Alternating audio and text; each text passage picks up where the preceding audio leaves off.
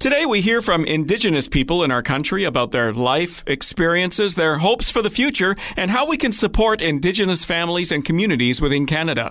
I'm James Curtis of The Drive, and this is part of Treneta Bowden's story. What it means to me on the Truth and Reconciliation, um, you know, God delivered me from a lot of things. And my relationship and that intimacy with the Father is so key when he talks about um, how we are to be reconcilers, we are to be ministers of reconciliation, firstly, to know Christ. But uh, sadly, there's so many who are hurting in this time because of what the church has done.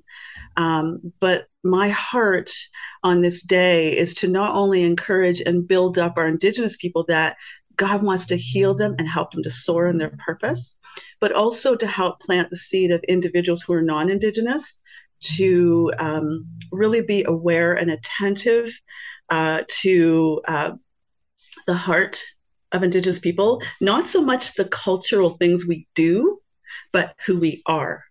And this is what I share a, a, a message uh, called Soaring in Self Image. And we need to come to a place to know where, who we are. I mean, we could do all kinds of things traditionally, um, but spiritually, who we are, who God created us to be in his image is so beautiful. And um, my prayer is to see that awareness brought forth um, on this day. Um, it's not just a day to acknowledge um, the children from the past but but last night I was just at a meeting and God spoke to me clearly to honor the children now because we can't make the same mistake again.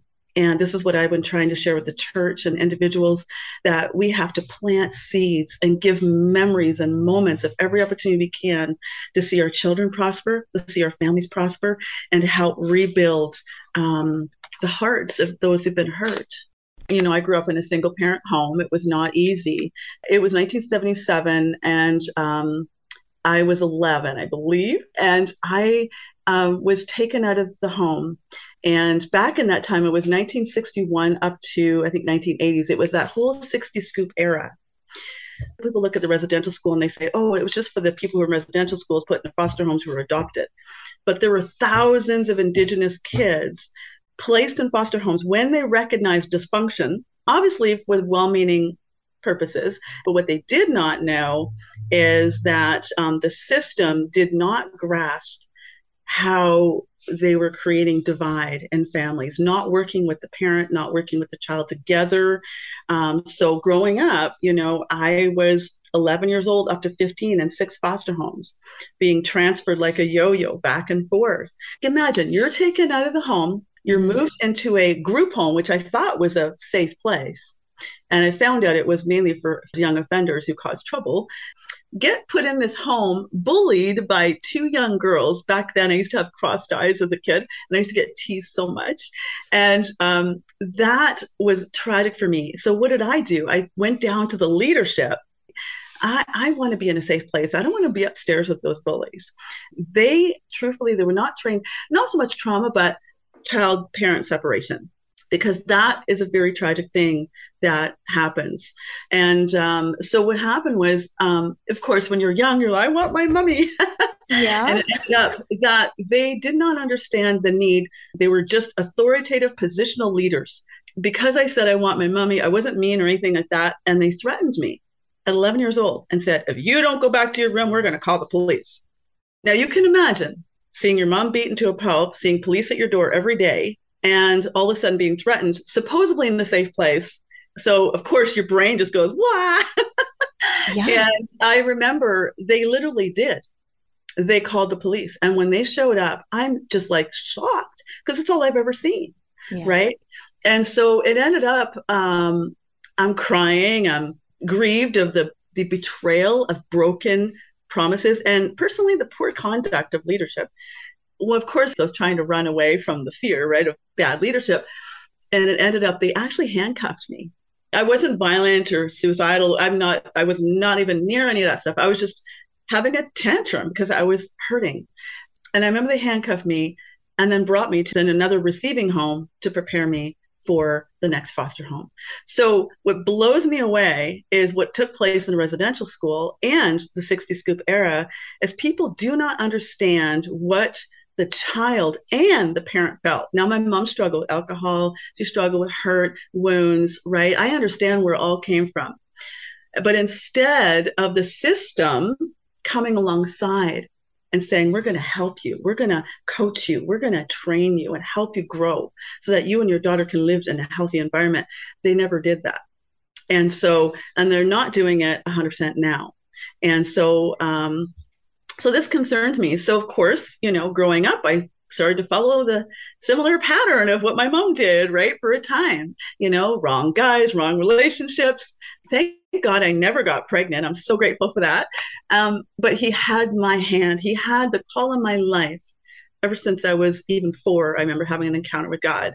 And I knew deep down, as much as I wanted to help my mom in the process, I, I couldn't help her. I was a young kid just trying to figure out how I'm going to fit but I knew that there was a call in my life somehow. And of course, at the age of 15, I, I had the choice to go back into the foster care system or start on my own. And uh, my mom and I had this huge fight, and it was scary. I thought I was going to die that night because she was really aggressive, and I knew I needed to get out. So I went to thinking I had the world by the hook, went and lived in this uh, my own apartment, and I got a job. I went to school, was a hairdresser, um, started teaching aerobics, and I started moving forward into my dream of living on my own. And then it was when I was 28, I got a V8, and the power of God touched me in a mighty way. And I remember back in those days rolling a marijuana joint and saying, Hey, if this was what life is like, I don't want it. And I was crying out to God. That's when I heard him say, My daughter, every time you hurt your body, you're hurting me. You could see angels in the natural pull me down. And it was a God encounter, no drug rehab. It was a God factor and said, Your life can change if you just take the first step. And then I started learning about taking care of my health and went to massage college and started getting some good grades in the sciences. And I thought, I can do this. Through God, I can do this. In 1995, after going through the massage college and seeing lots of different things in that realm, uh, God just started to pull me aside and said, It's time, my daughter, I'm calling you. And I invited him into my life, and I've never been the same since. And I am still on fire, the same as I was back then. and I'm just so grateful for that relationship that I have with Jesus. I believe that um, a lot of the reconciliation that's been happening, it's all the practical. You know, let's let let's let everybody participate in the culture. And that's that's a portion. There's so much more that god wants to do in that perspective. And to really hear the hearts and to really um, you know that restoration call really it's so important to understand that we got to come past the stereotypes. And um, you know i've served several communities in reaching 67 communities in the north. And um, you know, God's really speaking to me about three responsive ways that we can restore and build First Nations families. And this is just brainstorming off a few and some other strategies that He's given me. But, um, you know, we need to, uh, number one, appreciate them, not just for what they do and the culture and all these things, but more so who they are as people. That there are a people of the land that that can really help many you know, if we were to break out in a war, I can tell you right now, a lot of our people would be able to help teach some of the war vets on how to survive.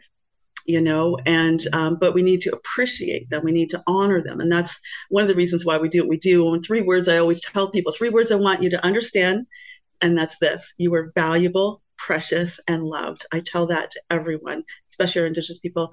Number two is believing in them, and believing in who they are, and secondly is is really bringing coaching and that's what i'm doing now with the john maxwell team as well is coaching and bringing comfort.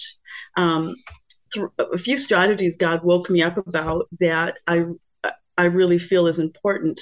Um, in relational healing um, to assist in that restoration um, with indigenous families um, as a whole. And that is uh, back to what i was saying believe in them but to really come to a place to um, remind them of their value And that's something that I find very, very powerful. Um, that we need to help them to realize that they're valued in Christ. You see, man came along with an iron fist, with religious spirits, planning to do all kinds of things and manipulating them in all the ways. And believe it or not, I was trained by an awesome leader. And he said, I interviewed him, and he said, a lot of the teachings, even some of the traditional ways, each each tribe does different things, but they've developed some of it from the Catholic Church. So mm-hmm. it's not all indigenous ways. Um, but to resist the stereotype, as I shared before, and um, you know, there's a lot of critics out there. I hear a lot of stereotype. Oh, indigenous people are always struggling with drugs and alcohol, and they're all, you know. But my call, and uh, with especially writing my book, Healing from Pain to Purpose, is I'm like, give me the Corneliuses because it's time that we start raising up the entrepreneurs in this land. Um, I personally have never owned a home. You know, I saw my mom struggle with, I'll never be able to mount up to anything. She's been bullied and beaten down by male leadership or leadership as a whole in the church as well. And a lot of our people have felt that way. And so, and what happens is people go into these communities, autonomy, who have lots of resources going, we can do it better than you and therefore we don't need you. We'll just do it for you. But what we really do need is mentorship. We need coaching. We need encouragement to help them so that they can stand on their own two feet and to say that you can do this. Um, respect is a huge part of indigenous ways. So you know the truth and reconciliation is their one of their passions. But biblically respect is something that's called in all aspects of the word of god. And uh, you know to listen with empathy and be compassionate to listen to the hearts to stand with the frontliners huge huge huge huge. And also if i can just share lastly is um, to really rebuild trust and to um, renew and revive their dream. As i shared earlier um, it's not about them doing their own thing right? It's like us trying to go to church and saying, hey, I'm going to be the pastor today. It's about respecting and coming along people who've been there, people who work with the indigenous people and starting there, rebuilding the trust. That is to start. And God's and, and God says it also, he talks about trust. Um, trust no man, he says, trust God, but we do have to come to a place that we have to come to trust. And um, how we start. I mean, for, for us, we've been we started our Servants Out Christmas project actually right through the beginning of opposition. And God said, It's time. And I said, Okay. And he said, I want you to go start touching your people and start um, being a vessel to start assisting the healing that I'm going to use for my glory. And um, and that has been I remember I said, Lord, I don't know how. I really don't know how. I don't know when I just know you, and that's who. And um, I didn't feel I had the support of churches. I didn't have, I just went to stores and got goods.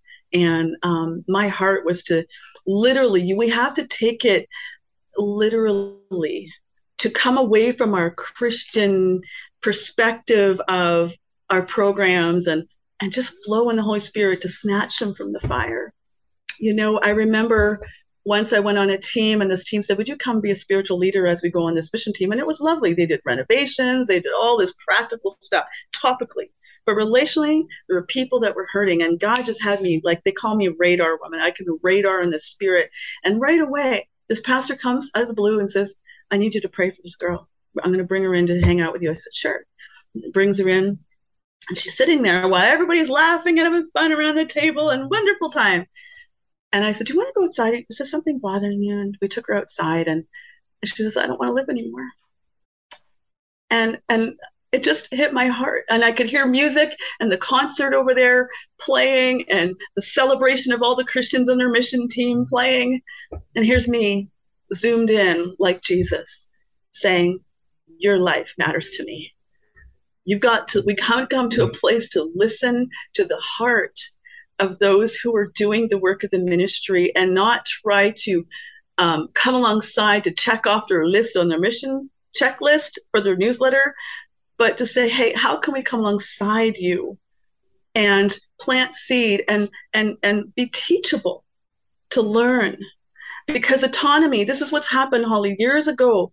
our indigenous people made the snow goggles, they made the spruce gum, they made so many things, the snowshoes, and society and autonomy has come alongside and they've taken it for their own gain and they've not and they've outcasted indigenous people.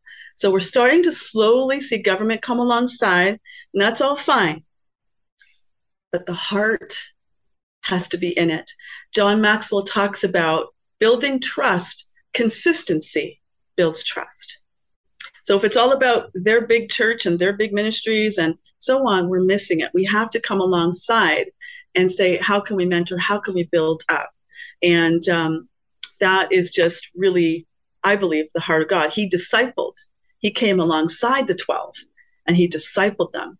But interesting enough, some of the Christian community, which I think is wonderful, I love, they're, they're, my, they're my family, but I feel some of them need to be discipled.